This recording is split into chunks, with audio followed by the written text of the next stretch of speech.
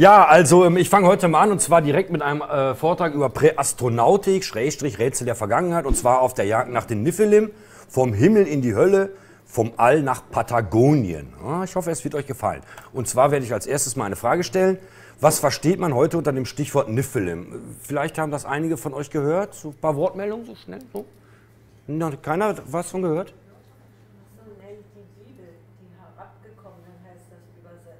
Ah, das wird schon interessant, weil ich genau darauf einkommen werde, auf die herabgekommenen, äh, äh, eingehen werde, auf die herabgekommenen. Ja gut, also es ist ein biblischer Name, Nephilim, äh, aus dem Alten Testament, aus dem ersten Buch Mose. Und äh, wenn wir eine Frage haben, fragen wir natürlich als erstes Google. Google weiß natürlich bekanntlich alles. Geben wir dabei der Google-Bildersuche Nephilim an, äh, erhalten wir solche äh, Bilder hier und die oftmals mit Photoshop gefälscht wurden, nicht aus bösen Absichten, sondern eben weil die zeigen wollten, wie schön wir mit Photoshop umgehen können.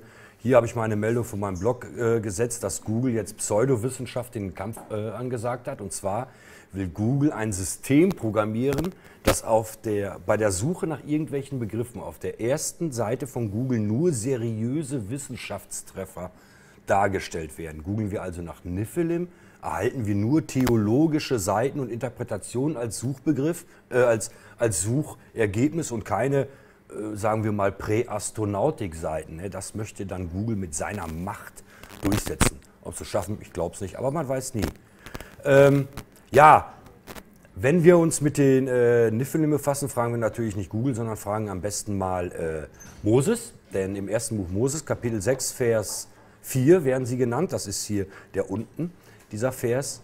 Und zwar wird dort in, die, in den kurzen Zeilen berichtet, dass irgendwie die Söhne Gottes vom Himmel kamen, sich den Menschenfrauen näherten, äh, mit ihnen Sex hatten und daraus entstanden Riesen. Und dieses Wort Riesen, was ich hier rot markiert habe, sind eben diese Nephilim. Ja, ähm, ich habe sehr viele Folien, deshalb werde ich auf jede nicht allzu lange eingehen. Das ist auf jeden Fall sehr wichtig zu erwähnen. Dieser Text, eine Bibel hat jeder zu Hause, ist natürlich seit Anbeginn der Präastronautik in der Diskussion. Hier oben habe ich mal Pro-Präastronautik-Bücher seht ihr eigentlich auch die Maus? Ja.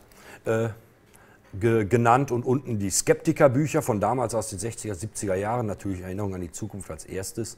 Und da ging es auch schon um die herniedergestiegenen Gottessöhne, die sich mit den Menschenfrauen einließen und Riesensöhne zeugten.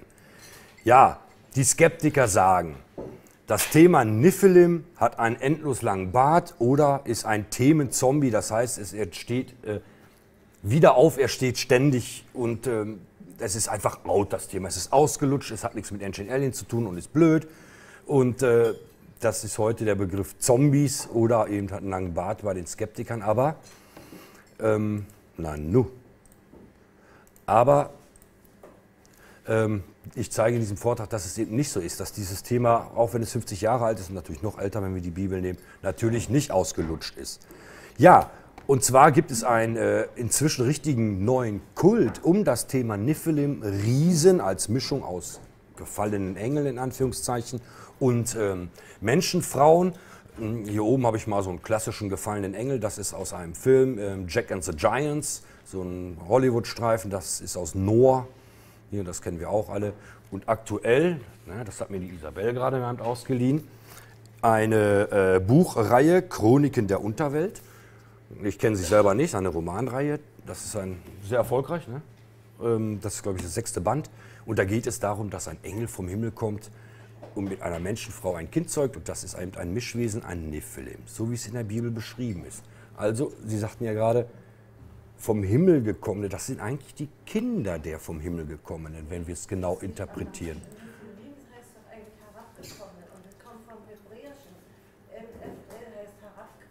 NFL ist, NFL ist semitisch und bedeutet tatsächlich äh, fallen und herabkommen. Das stimmt. Aber ich gehe gleich nochmal drauf, näher darauf ein.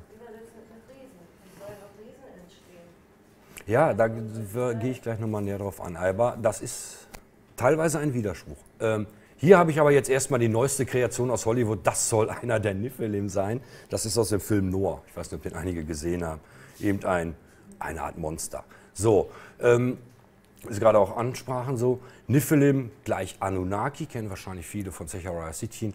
gleich außerirdische Fragezeichen. Das ist, ähm, obwohl Zechariah Sitchin sein Buch mit diesen Anunnakis 1977 schon veröffentlicht hat, das ist hier unten mal abgebildet, immer noch ein Thema. Aktuell kam das hier von Michael Tanninger, äh, die afrikanischen Tempel der Anunnaki. Anunnaki sind diese lustigen Gestalten mit den Hörnern auf dem Kopf, das sind auch syrische Rollsiegel.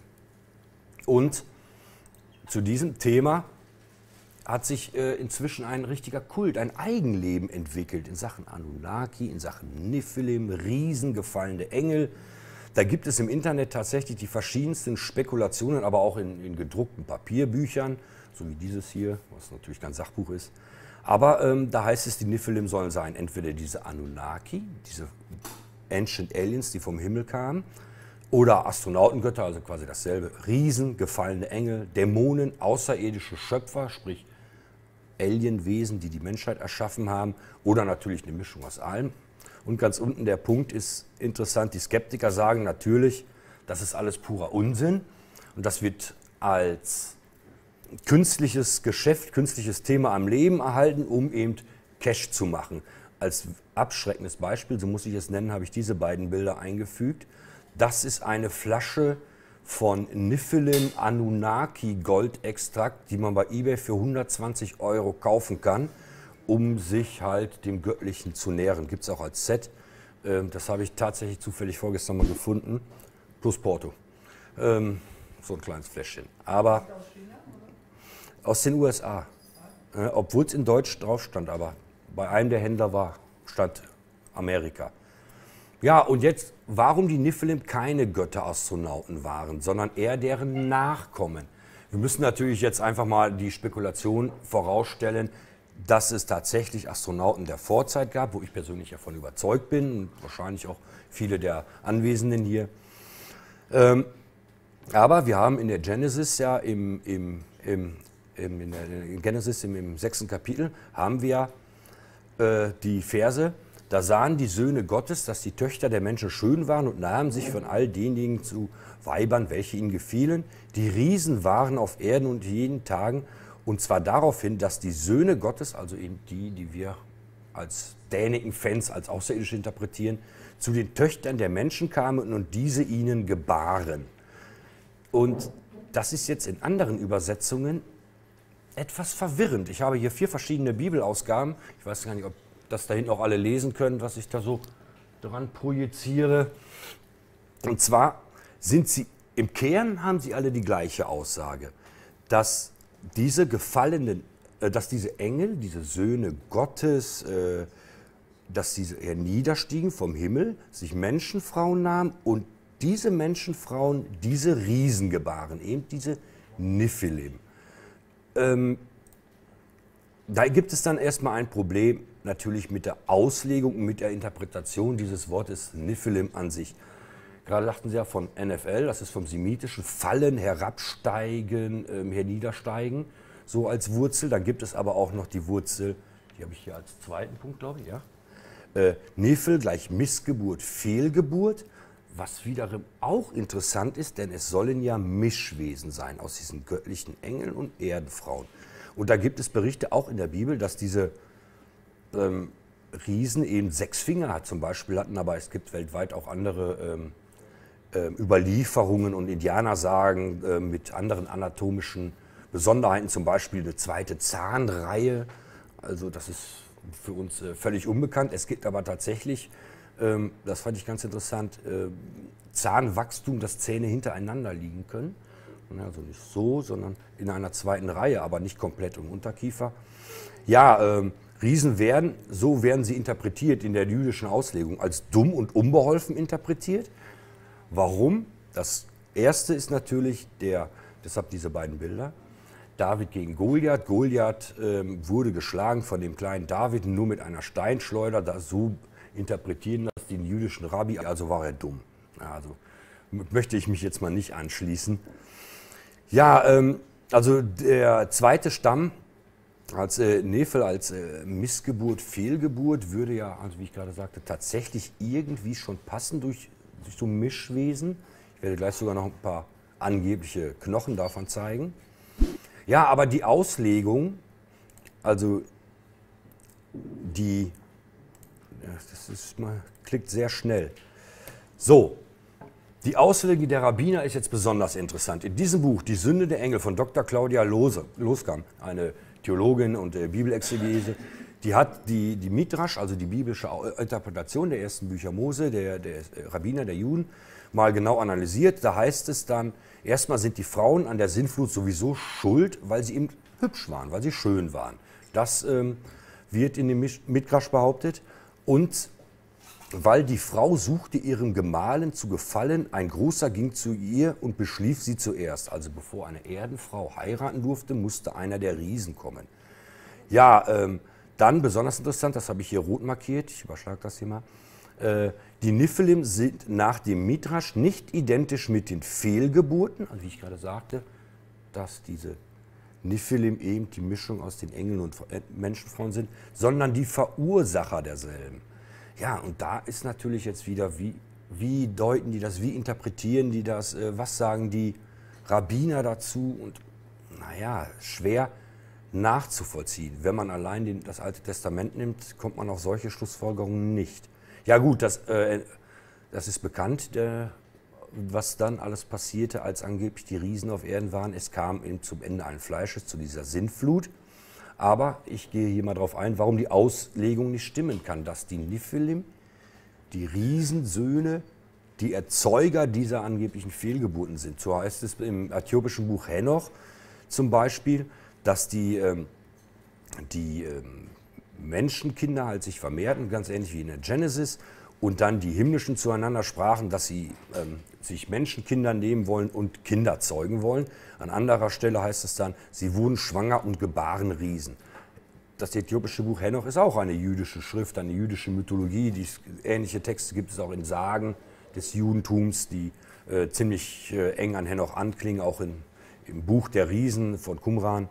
Ja, in dem Buch der Jubiläum, auch ein Apokryph, heißt es zum Beispiel, ähm, Henoch zeugte gegen die Wächter, also diese Engel, äh, die mit den Menschentöchtern sündigten. Denn jene begannen, den Menschentöchtern beizuwohnen, beizuwohnen das, so dass sie befleckt wurden. Das bedeutet eben, dass diese Himmelssöhne, die Wächter, sich den Menschenfrauen näherten. Ja, warum das alles? Also in 1 Henoch, aber auch in äh, jüdischen Sagen wird beschrieben, dass diese himmlischen, da gibt es zum Beispiel auch in der Mythologie des Nahen Ostens Anunnaki und Anunnaku, da komme ich gleich in einer Folie mal drauf, aber diese himmlischen lehnten sich auf gegen ihren Chef, gegen Gott, schwörten einen Eid, dass sie ähm, das durchführen wären, äh, würden, dass sie zur Erde kommen und sich mit den Menschen, Frauen in Anführungszeichen verunreinigten und dass äh, davon Gott nichts selber mitbekommen sollte.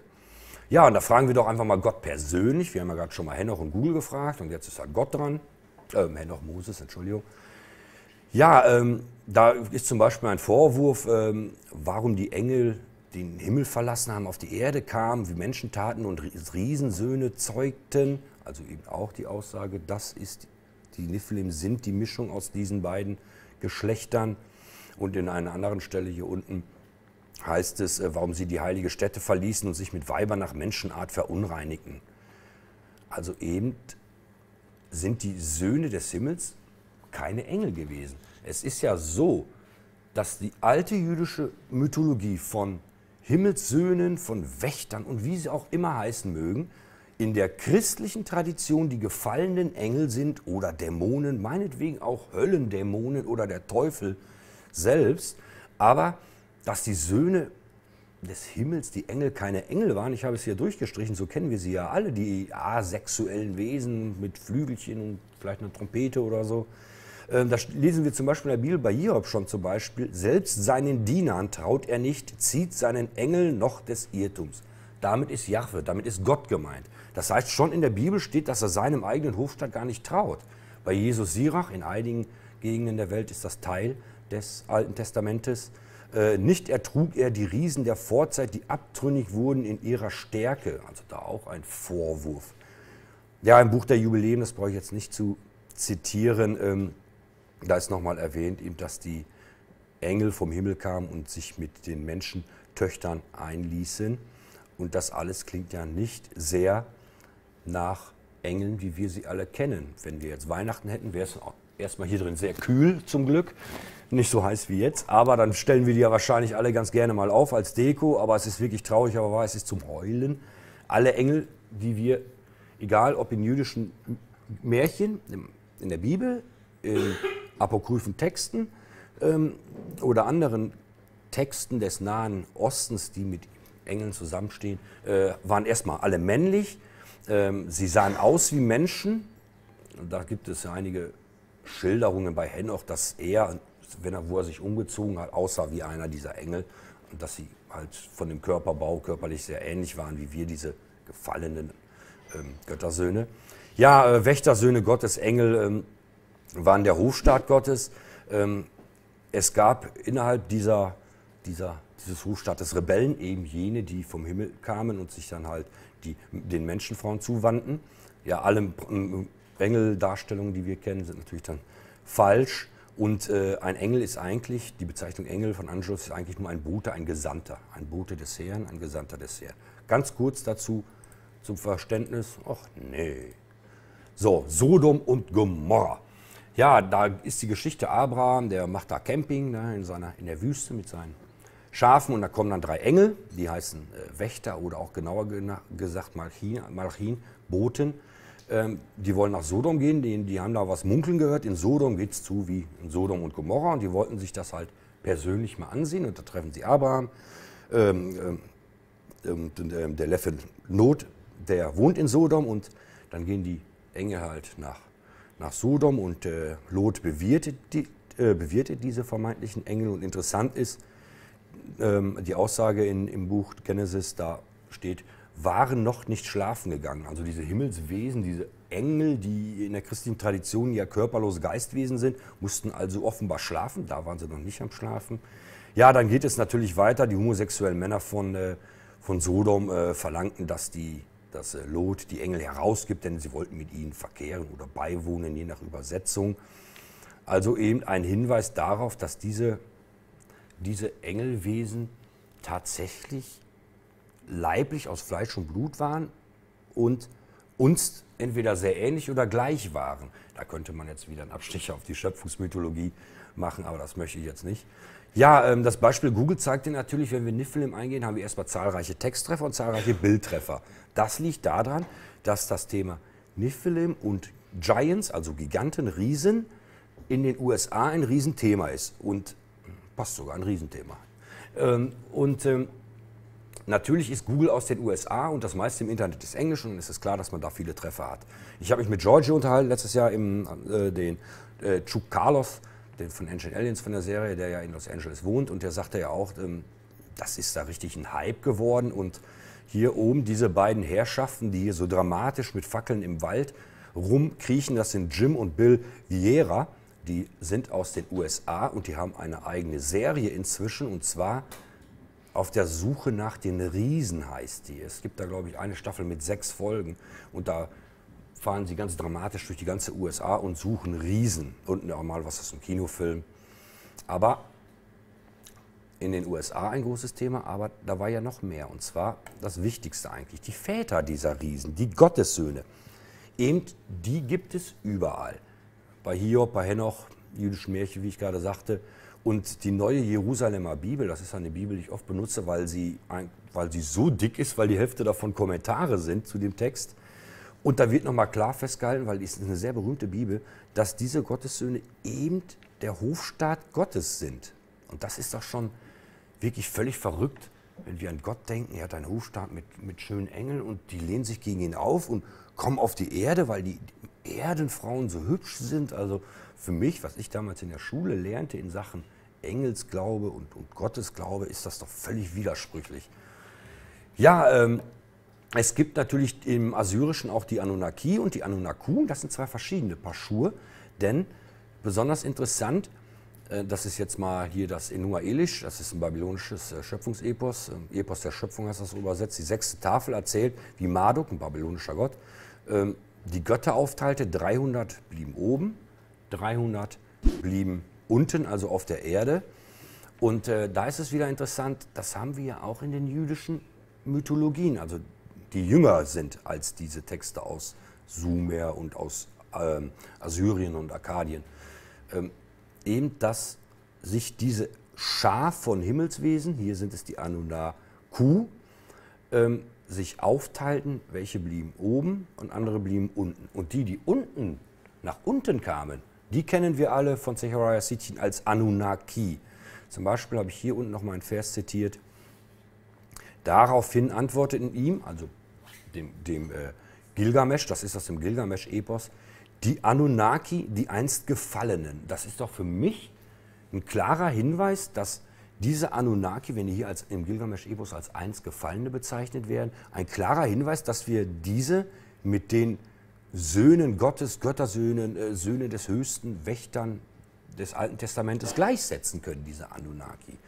Ähm, ja, ähm, im Psalm 82,6, das ist natürlich aus der Bibel jetzt wieder, äh, steht auch, also äh, als Psalm zu den Engelwesen, Wohl habe ich gesagt, ihr seid Götter, ihr alle seid Söhne des Höchsten. Das ist also im Alten Testament schon ein Hinweis, verborgen in einem kleinen Psalmvers, dass diese Engelwesen eben auch als Götter oder eben Söhne des obersten Gottes angesehen wurden, wie die Anunnaki und die Anunnaku.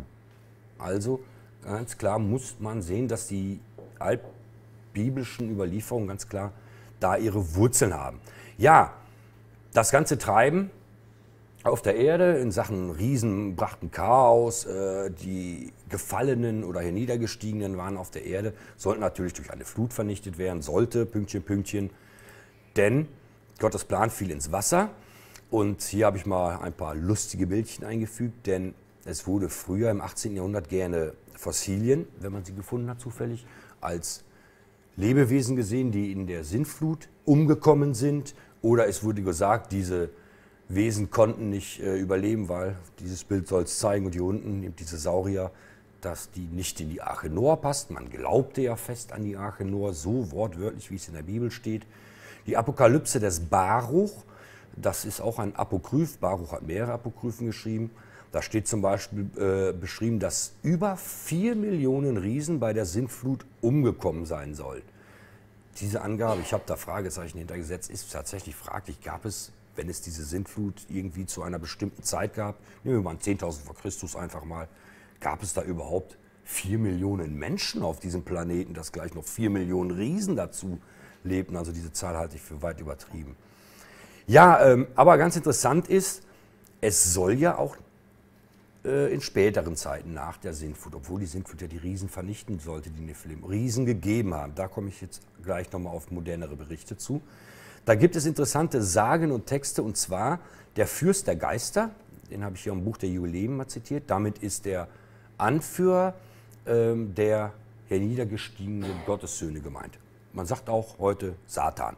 Da heißt er noch Azrael oder Belzebub, gibt es auch den Namen, verschiedene äh, Bezeichnungen. Wisst ihr wahrscheinlich alle. Ja, aber er sagte, er erfuhr dann und so, die Sintflut, wir kommen und er dann zu Gott, ey, nee, Gott, das ist nicht gut lass ein paar von, von meinen abtrünnigen Engeln, also den gefallenen Engeln, lass sie leben, ähm, damit nach der Sintflut noch ein paar da sind, äh, die mich verehren, mich an, anbeten, also mit denen ich noch gut Freund bin. Ja, und das ist so ein Deal, den der dann abgeschlossen hat. Und da ließ er etwa ein Zehntel der herniedergestiegenen Engel, ließ Gott dann leben. Eine andere Geschichte erzählt auf der Arche Noah hat sich der Gott Og, OG, der ist im Alten Testament zu finden, auf der Arche aufs Dach gelegt. Moses, ach Moses, ähm, Noah hat es gar nicht mitbekommen, dass ein Riese auf dem Dach liegt und äh, hat so die Sintflut überlebt. Da gibt es noch eine andere Mythologie, dass er dann ein Verhältnis mit der Frau von Noah angefangen hat und da wieder neue Riesen aus entstanden sind. Aber eben, dass die, dass die Riesen zum Teil die Sintflut überlebten. Ja, das ist natürlich jetzt erstmal das Bild. Selbst die Kleinen kriegen es so eingebläut, wie ihr es hier auf diesen beiden und diesem Bild sehen könnt. So zeigen wir ja den, unseren Kleinsten, wie man sich das vorstellt, wie es in der Bibel war. Ein Holzschiffchen und alle gehen paarweise da rein und wunderschön. Es fängt an zu regnen und alle sterben, außer die auf der Arche. Hier mal so ein paar bibeltreue Darstellungen und hier Russell Crowe aus dem Film Noah, so ein Actionfilm als Nord 2.0, da ist er ein Actionheld. Aber das ist eine unlöschbare Vorstellung, irgendwie in den Köpfen aller in der westlichen Welt. Wenn man sagt, was äh, Sintflut, Arche, mal mal auf, würde jedes kleine Bild, äh, Kind direkt sowas malen hier irgendwie in dieser Art. Aber da muss ich unbedingt einen kurzen Exkurs machen, denn das ist besonders interessant. Äh, das sind jetzt hier diese beiden Bilder. Modelle einer Arche Noah von den Kreationisten aus den USA. Wenn ihr, werdet ihr wahrscheinlich nicht so erkennen können, hier ist sogar ein Tyrannosaurus Rex reingestellt. Die Kreationisten sind ja welche, die die Bibel wortwörtlich nehmen. Zum Beispiel auch, dass unser Planet nur 10.000 Jahre alt ist oder vielleicht sogar nur sechs. Dass die Arche Noah so existiert hat, wie sie beschrieben ist und so weiter und so fort. Das ist aus diesem Film Noah nochmal von Russell Crowe, der auch ziemlich diskutiert wurde in Sachen Bibel und Wissenschaft und in Sachen Bibelfundamentalisten, die es viel in den USA gibt. Hier werden, diese Bilder habe ich nicht eingefügt, an diesem Modell werden sogar Kinder geschult. Das ist ein Nachbau in Holland. Da hat einer in den Niederlanden die Arche nachgebaut. Aber wenn wir das mal nicht ganz so bibeltreu nehmen, so wie diese Bilder hier, so wie wir das alle kennen, da finde ich was faul, habe ich da mal unten so eingefügt. In der Bibel ist das ja als Kasten beschrieben. Diese beiden Zeichnungen entsprechen so mehr oder weniger der Realität, wenn man das übertra übertragen würde aus dem Alten Testament, die Sintflutgeschichte. Das ist die reine Fantasie. Aber dann gibt es natürlich Michelangelo, der in der Sixtinischen Kapelle in Rom hat, hat er ja innerhalb von vier Jahren ähm, alles wunderschön bemalt. Ihr kennt wahrscheinlich die Finger, die sich berühren, die Schöpfung des Adam. Das ist ja auch davon. Und er hat auch die Sintflut gezeichnet und auch die Arche Noah. Und die Arche Noah hat er von 1508 bis 1512 gemalt. Also nicht nur die Arche Noah, sondern diesen Bereich des Deckenfreskos. Und er hat die Arche Noah so gemalt, vollkommen völlig anders als alle Künstler zu seiner Zeit und vor ihm und auch nach ihm. Und ich habe mich da gefragt, warum hat er vor knapp 500 Jahren, warum tanzte er so aus der Reihe? Da habe ich berechtigte Fragen, ich habe mal Anführungszeichen da gesetzt, denn im Gilgamesch-Epos, was erst 1872 erstmalig übersetzt wurde, und zwar die elfte Tafel, sofort auch die interessanteste, weil es ist die Tafel mit der Sintflutgeschichte, mit, äh, mit der Arche da im Gilgamesch-Epos, aber da ist die Arche Noah beschrieben von einem Würfel von, 60, umgerechnet von den Ellen, 60 Meter mal 60 Meter äh, Kantlänge, wie ich hier habe da mal meine künstlerische Freiheit beim Malen ausgeführt. Da frage ich mich, ob wohl Michelangelo, der ja als Universalgenie sowieso gilt, ob er vielleicht schon Jahrhunderte vorher, vor der Übersetzung von George Smith aus dem Britischen Museum, das Gilgamesch-Epos irgendwie kannte, weil ich finde, diese Darstellung widerspricht tatsächlich völlig dem, dem, dem Kunstverständnis von damals. Ne, ich weiß nicht, es ist ein kleiner Exkurs, ein kleiner Gedankengang, weil, deshalb auch mit Fragezeichen, berechtigte Fragen. Das Gilgamesch-Epos, äh, ich glaube Vers 7 der ersten Tafel wird sofort übrigens auch beschrieben, dass Gilgamesch ein Drittel Mensch und zwei Drittel Gott ist und übrigens elf Ellen groß war. Das ist sie, je nachdem welche Elle wir nehmen, aber es könnten so fünf Meter, fünfeinhalb Meter sein, je nachdem welche Ellenmaße wir da nehmen. Auch ein Riese wieder. Ja, Mythenknochen, äh, von Mythenknochen und Kultobjekten. Ich habe Kultobjekten in Anführungszeichen gesetzt, denn es ist ja, ich komme gleich mal auf diesen Herrn zu sprechen, es ist ja immer interessant, wenn etwas archäologisch seltsam ist, dann ist es ein Kultobjekt und dann kann man schon ein Schildchen dran machen, um es ins Museum zu stellen. Ja, in diesem, in diesem altertümlichen Text eines äh, römischen, römischen Geschichtsschreibers äh, berichtet er zum Beispiel, dass Asien, Europa und Afrika in Wahrheit Inseln sind und die sind von Ozeanen umgeben. Hinter den Ozeanen gibt es einen, unbekannt, äh, einen unbegrenzt großen Kontinent. Damit also hinter dem Atlantik, das erinnert zugleich an Amerika natürlich. Ähm, und da soll es Menschen geben, die doppelt so groß sind als die damaligen Menschen. Also sagen wir mal drei Meter, wenn die im Durchschnitt vielleicht 1,50 damals waren, zur römischen Zeit der Durchschnittsmensch oder 1,60. Ja, ähm, und sie besaßen große Städte und äh, lebten ganz anders eben als die Europäer. Das ist interessant, das ist nämlich eben ein römischer Historiker, der wollte ähm, in diesem Buch auch belegen, dass Platon zum Beispiel mit der Atlantis-Geschichte recht gehabt haben kann. Er suchte da noch weitere Überlieferungen und so. Da fragt man sich natürlich, warum kannte er schon Amerika und berichtet von Riesen dort. Und deshalb werde ich gleich nochmal über Riesen in Amerika sprechen. Ja, dieser gute Mann, der ist von, äh, von der Universität von Oxford, der gräbt seit, ich glaube, 30 Jahren in Afrika, in, in der Namewüste, in, in Namibia und überall und hat dann in einem, in einem Trockensee äh, in Botswana hat er Faustkeile Äxte, Schrägstrich Schaber gefunden. Und da hält er einen in der Hand. Die sind so 30 Zentimeter groß. Hier sieht man ja die Hand und hier sieht man ja diese Objekte, die eindeutig künstlich sind. Und diese Objekte habe ich jetzt mal in diesem Bild, weil es viel besser ist, habe ich mal verglichen, denn sie sind als echt, sie sind 40.000 Jahre alt, ab 40.000 Jahre alt, während von Oxford 2009 haben sie das veröffentlicht, natürlich nicht als Fälschung angesehen, schließlich hat das einer ihrer Professoren ausgegraben. Und da sehen wir mal an, diesem, an dieser Hand hier und hier, wie groß die eigentlich sind für einen normalen Menschen, damit er damit arbeiten kann, schaben kann oder was schneiden kann. Und hier sehen wir nochmal die anderen. Und da die ja völlig überproportioniert sind und dort ausgegraben wurden, kann man natürlich, wenn es Grenzwissenschaftler wie wir sind, oder zumindest ich bin, kann man natürlich spekulieren, das haben Riesen angefertigt oder wie es die etablierte Mainstream-Wissenschaft macht, das sind Kultobjekte. Denn unsere Vorfahren vor 40.000 Jahren in der Namib, in der, in der Steppe von Afrika, hatten natürlich immer Langeweile und mussten große Steine bearbeiten, damit sie unhandlich sind und so, so groß sind, wo sie nichts machen könnten und sagen, guck mal hier, mein Höhlenfreund, wir haben hier ein Kultobjekt. Ah, schön, beten wir es mal an. Ne, also ich, in solchen, bei solchen Themen denke ich immer, unsere dünn verbreiteten, dünn besiedelten, äh, dünn siedelnden Vorfahren hatten die nichts Besseres zu tun, als ihre Zeit damit zu verschwenden, Kultobjekte anzufertigen, die völlig sinnlos sind. Ja, Nevada, also ich habe hier einige Zeitungsberichte eingefügt, weil ich könnte davon stundenlang welche zeigen sollen zum Beispiel Riesenknochen ausgegraben worden sein, auch mit, mit Werkzeugen, die eben wieder zu groß waren. Und das sind natürlich, wie wir jetzt wissen, Kultobjekte. Die kommen nicht von Riesen. Aber die waren 3,35 Meter groß, 11 Fuß, also etwa 1,35. Einige waren sogar angeblich ähm, noch größer. Und ähm, es gibt da so Knochenfunde, da konnten sie an einer Elle und an einer Speiche hochrechnen, wie groß der jeweilige bestattet Bestattete worden gewesen sein muss zum Beispiel. Das ist jetzt ein Bericht von 1904. Hier ist ein Bericht von 1914 von dem gleichen Fund. Das soll eben einer dieser Schädel sein. Das ist ebenfalls im Nevada. Dieser Indianervolk, äh, dieses Indianervolk, diese äh, Paiute-Indianer, die haben zum Beispiel in ihren Überlieferungen Geschichten, dass es ein Riesenvolk gab, das hieß Shitecha. Und die waren irgendwie total unfreundlich, diese Riesen. Ne? Waren immer frech und haben die Indianer angegriffen und alles. Und es kam zu Kämpfen. Äh, und im Endeffekt haben die Indianer sich zusammengetan und diese ganzen Riesen vernichtet. Es gibt Höhlenzeichnungen von Riesen in Nordamerika und auch in Südamerika, aber in Nordamerika mehr.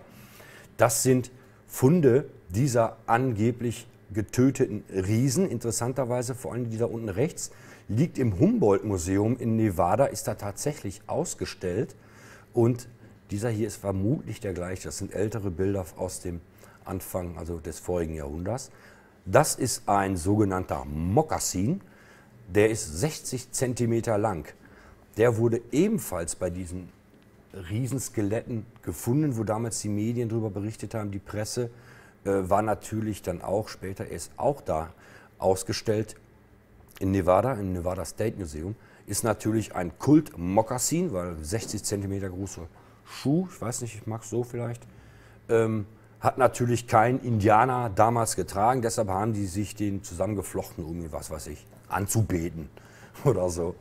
Ja, schön ist auch dieses hier, das ist ein Mahlstein oder ein Mühlstein, dieser Zylinder hier. Hier sieht man die Hände und zwar habe ich das mal als Vergleich so gemacht. Das ist natürlich ein Kultobjekt und nicht ein tatsächlich genutztes Artefakt von Riesen. Und zwar wird damit eigentlich Korn gemahlen. Hier habe ich nur aktuell von, von so ähm, praktischen Archäologieversuchen und hier aus Ägypten.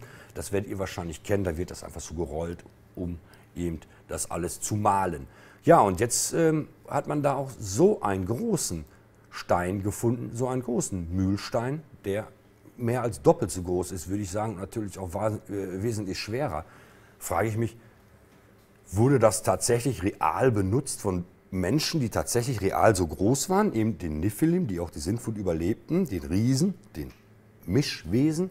Oder ist das wieder eins, wie es eben die Archäologen sagen, Kultobjekt, dass sie gesagt haben, so, wir sind mit dem Malen des Korns oder des Mais fertig und jetzt lass uns so ein Ding mal dreimal so groß anfertigen, um es einfach nur naja, anzubeten.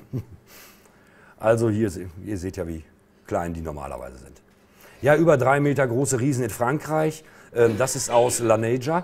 Das ist so eine Art äh, eine Nature, die wir ja heute kennen, diese Zeitschrift aus, äh, äh, aus Frankreich, diese hier. Und zwar im Jahr 1880 erschien das.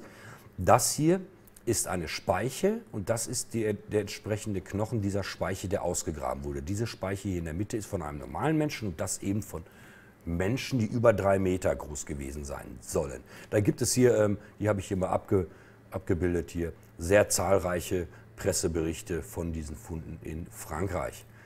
Ja, Gizeh, ein Werk von Riesen. Äh, ich habe gedacht, das füge ich mal ein, denn es gibt auch Berichte aus dem vorvorletzten Jahrhundert, dass archäologische Grabungen Riesenskelette zutage gefördert haben. Ich frage mich immer, wo sind die heute alle?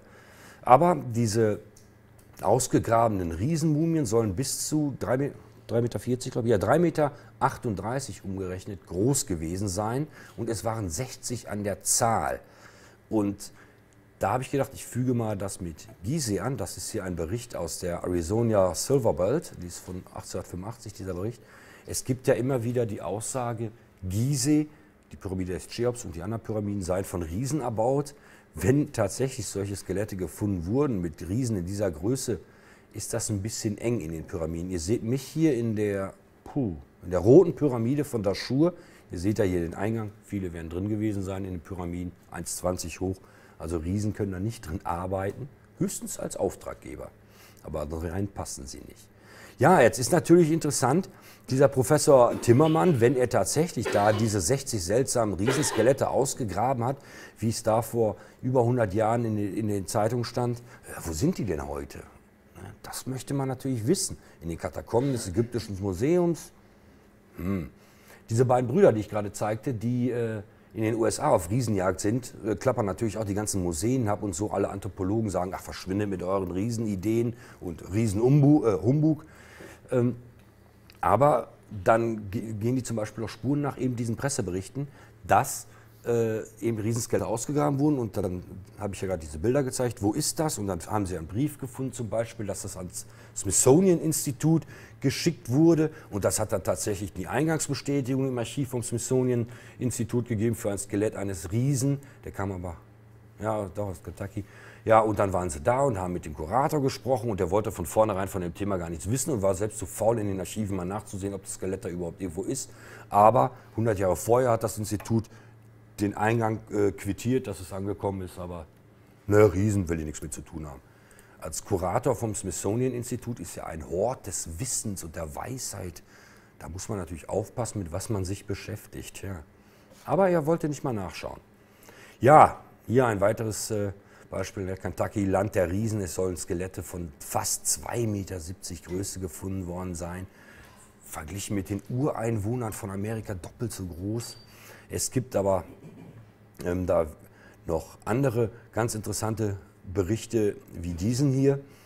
Hier unten, der ist äh, 1876 in verschiedenen Zeitungen in den USA erschienen, dass es eben, äh, dass da Riesen gefunden wurden, die ja fast drei Meter groß waren. Und Jahre später ähm, hat das mal Ancient American im Jahr 2002 wieder aufgenommen, die Story, und tatsächlich Fotos davon veröffentlicht. Ancient American, gut, jetzt kann man sagen, das ist ja eine moderne Zeitung aus moderner Zeit. Sie haben auch, das sollen eben diese Riesen sein. Ähm, dann etwas umfangreichen Artikel darüber geschrieben in dieser Ausgabe und fragten sich auch, wo sind denn die Knochen und die Überreste jetzt und haben auch hier diese abgebildet, diese beiden Bilder, äh, diese zeige ich gleich nochmal genauer. Ähm, und wollten da auch mal nachforschen, aber auch Ancient American hat bis auf diese Fotos nichts weiter rausbekommen. Das ist der Eingang zu dieser Höhle, wo dann eben diese großen Wesen bestattet worden sind. Das ist, sind äh, Stoffbeigaben, die da ausgegraben wurden. Ja, das ist diese besagte Ausgabe, die Nummer 45 von 2002. Das soll eben auch eins von diesen Riesen sein. 2,44 Meter. Hört sich nicht spektakulär ja an, wie jetzt Gilgamesch mit 5,5 Metern oder so. Aber ist immer noch ein Riese eigentlich. Gerade eben in in der Zeit, äh, wann er mutmaßlich gelebt haben soll. Also nehmen wir mal zur Zeit der Indianer vor der Ankunft von Christoph Kolumbus. Ja, Ancient America ist sicher, da es so viele Berichte gibt aus den Medien aus dem 18. und 19. Jahrhundert, den, äh, den äh, Zeitungen und so Überfunde von Riesenskeletten, dass da was dran sein muss. Tja, beweisen konnte die Ausgabe das auch nicht. Hier nochmal Spekulationen, das ist zitiert aus der Ancient American. Ähm, ist das hier ein Muster, eine Schrift, eine Karte? Äh, schreiben die, da wissen das auch nicht. Das hier, das soll eine Gottheit darstellen, eben, die mit äh, den Phöniziern dahin gekommen ist. Wie sie da drauf kommen, weiß ich nicht. Ich habe da in Sachen Baal keine ähnlichen Darstellungen gefunden. Ja, Seltsames vom Ende der Welt. Und zwar soll es natürlich auch Riesen in Mittel- und Süd, äh, in, in, Südamerika, in der anderen Region und ganz Südamerika geben, eben in Patagonien. Die waren gleich 7,74 Meter groß. Dieser Zeitungsartikel von 1893 berichtet davon, berichtet aber auch von Riesen bei den Inka und Mayern, von solchen Skelettfunden und riesigen Schädeln. Nicht diese verformten Schädel, die wir alle kennen, diese Turmschädel, sondern eben Menschenschädel, die größer waren. Ja, und dann gibt es natürlich auch Augenzeugen. Das werdet ihr alles nicht erkennen können auf, diese, auf diesen Karten. Aber das sind Karten aus verschiedenen Jahren, 1605, 1602, hier ist eine von 1562. Jeweils von, das ist immer Südamerika hier. Ähm, Patagonien und Feuer Peru. Und da sind überall Ge Gebiete eingezeichnet, in denen angeblich Riesen leben, die von den Seefahrern selbst gesehen wurden. Da gibt es Insel der großen Männer, die gibt es übrigens auch vor Kalifornien, Region der Giganten, Berge der Giganten, Land der Giganten. Und da gibt es auch Augenzeugenberichte natürlich. Ähm, hier ist eine Vergrößerung von einer dieser Karten. Da werden gerade von Magellan, unten in Feuerland, werden den Riesen Geschenke überbracht. Brot soll das sein. Genauso wie hier unten eine zeitgenössische Darstellung ein anderer Entdecker. Magellan war ja der, der zuerst in Patagonien war, also in Südchile und in Argentinien und im Feuerland. Deshalb heißt sie die Straße auch Magellanstraße, wo eigentlich immer Sturm ist zwischen Antarktis und Feuerland. Und der ging, da, äh, ging dann an Land und sein Chronist hat geschrieben nach den Aufzeichnungen, das war der erste, der, erste der die Welt umsiedelt, äh, umsiedelt, umsegelt hat, ähm, dass sie am Strand, als sie da lang segelten, schon einen Riesen gesehen haben sollen. Verschiedene Berichte, nicht nur Magellan, sondern eben auch der Entdecker John Byron, der sollte dort Ländereien erobern für Großbritannien, gab da Zank mit Spanien und so. Ja, berichtete von Menschen bis 2,50 Meter Größe, die da noch lebten. Sie sollen sehr primitiv gelebt haben, sollen zum Beispiel Ratten gefressen haben. Ähm, einfach so, äh, die auch an Bord rumliefen, weil sie einige von diesen Riesen mit auf die Schiffe genommen haben auch verstorbene Riesen, aber die hätten dann angeblich die Seefahrer dann vor Bord geschmissen, weil das Unglück bringt, einen Toten auf dem Schiff zu transportieren. Ja, der Name Patagonie bedeutet im Endeffekt Land der, großen, Land der Menschen mit großen Füßen oder so, ähm, abgeleitet von Magellan. Eben da soll es tatsächlich noch zu historischen Zeiten solche großen Menschen gegeben haben. Ja, und zum Abschied, ich weiß gar nicht, ob, wie ich in der Zeit liege. Zum Abschied noch eine kleine Spekulation von mir, ähm, die ich natürlich so auch von vorne beginnen sollte. Ja, da fühlen wir mal den Riesen auf den Zahn. Im Jahre 2010 wurde bekannt gegeben, dass, dass eine neue Menschheit, in Anführungszeichen, entdeckt wurde, aber eine neue Spezies Mensch. Homo sapiens gab es ja und parallel dazu gab es ja den Neandertaler. Aber es gibt jetzt auch den sogenannten Denisova-Menschen. Der ist benannt nach dieser Höhle hier. Die liegt im Altaigebirge, so im Südosten von Sibirien. Ich habe einen Pfeil reingemalt hier. Und da wurden, wurde ein Zeh gefunden und ein, ein Fingerglied, ein Fingerknochen und eben auch ein Zahn. Hier habe ich mal diesen Zahn abgebildet. Das sind offizielle ähm, Fotos des äh, äh, Institutes, das dort immer noch gräbt. Und dieser Zahn ist fast 50 Prozent, ist ein Backenzahn, größer im, im Querschnitt, im Durchschnitt als der eines normalen Menschen. Also er ist hier 14,7 mm und ein normaler Mensch hat so 9,5 bis 10 mm. Ja, als die Forscher den ausgegraben haben, die haben zuerst nur das hier im Erdreich gesehen und dann kommen die ja mit ihren Pinseln so an und das dauert eine Zeit, bis es freigelegt ist. Dachten die erst, das ist ein Bärenzahn. Es gab dann genetische Versuche, äh, Versuche nicht, genetische ähm, ähm, Analysen dieses Zahns. Gerade Zähne sind da ja besonders gut geeignet. Der Erfund, der Zahn selber, ist etwa 30.000 bis 40.000 Jahre alt. Die Knochen gehören nicht zu dem gleichen Individuum, aber ist eben eine neue Art, eine neue Menschenart, die da entdeckt wurde und die mit dem Neandertaler und den normalen Homo sapiens gemeinsam lebten, aber genetisch eben verwandt waren, klar. Man denke an die Out-of-Africa-Theorie, wir waren alle ein bisschen verwandt, aber eben eine eigene Spezies waren. Ich frage mich jetzt natürlich, wieso ähm, die Berichte sind äh, darüber ziemlich zahlreich, immer nur recht trockene Berichte aus dem, äh, im, im, Internet. Warum ist keinem da mal irgendwie merkwürdig aufgefallen, dass dieser Backenzahn 50 Prozent größer ist als äh, von normalen Menschen? Ja, also, da heißt es einmal, ja gut, dann war der Unterkiefer größer. Ne? Ja, wie sah der denn aus? Normaler Mensch mit so einem Unterkiefer dann? Also ich, also das, ich weiß es auch nicht. Ist natürlich zu hoffen, dass es da noch viele weitere Funde gibt. Nicht nur jetzt in dieser einsam gelegenen Höhle hier im Altaigebirge. Aber ich finde das äh, sehr seltsam. Die wohnen übrigens, äh, die Deutschen graben, also äh, Deutsche machen da Ausgrabungen und es wurde auch in Deutschland alles analysiert. Und jetzt möchte ich doch noch mal ein bisschen spekulieren zum Schluss. Hier etwa wurde der Denisova-Mensch gefunden, der ja ähm, genetisch mit uns verwandt, aber trotzdem fremd ist. Und der Zahn ist 40.000 Jahre alt oder 30, so ungefähr. Ne? Und dann gibt es natürlich die Besiedlungstheorie von Amerika hier oben in der Eiszeit über die Beringstraße. Und jetzt finde ich ja ganz irgendwie äh, interessant, diese Idee, ist denn vielleicht dieser Mensch, dieser Riese, eben auch über die Beringstraße in Nordamerika, wo wir Indianergeschichten haben und angebliche Skelettfunde von Riesen, nach Nordamerika, durch Südamerika, äh, durch Mittelamerika nach Südamerika gewandert, denn die Maya erzählen von Riesen, die späteren Azteken aus dem äh, 16. Jahrhundert und 15. Jahrhundert erzählen von Riesen. In, die, die, die, die Fürsten und Könige und Herrscher der Inka waren angeblich Riesen, auch Inka-Mythen und Sagen erzählen von Riesen und natürlich zu allerletzt natürlich äh, Feuerland, wo es ja noch im 18. Jahrhundert angeblich zu Begegnungen mit 2,50 Meter großen Menschen gekommen sein sollen. Ich habe hier Fragezeichen eingefügt, denn da haben wir natürlich noch keine Funde von diesen Denisova-Menschen. Es ist natürlich jetzt eine verlockende Spekulation so am Schluss, ob tatsächlich durch so eine Wanderbewegung, die sich immer mehr zurückzogen, man denke 1520, Aztekenreich wurde vernichtet äh, von den Spaniern, die Riesen zogen sich immer weiter zurück, später kam äh, ähm, dann die, die Inka dran, da mussten sie in, in eine andere Region dran glauben, die Riesen, die Stammesführer zogen sich weiter zurück bis tatsächlich zum Ende der Welt nach Feuerland und Patagonien. Nur eine Spekulation. Ich weiß es natürlich nicht. Ich weiß natürlich auch nicht, ob es tatsächlich diese herabgestiegenen Astronauten der Vorzeit gab und dass deren Nachkommen Mitmenschen Riesen waren. Es wäre schön, wenn man es beweisen könnte. Aber ich danke und bin dann jetzt mal fertig mit meinem Vortrag. Dankeschön.